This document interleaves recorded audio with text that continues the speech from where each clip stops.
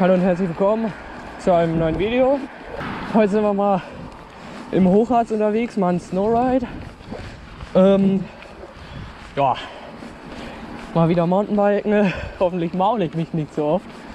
Und mal gucken, wie es wird. Dann viel Spaß bei dem Video.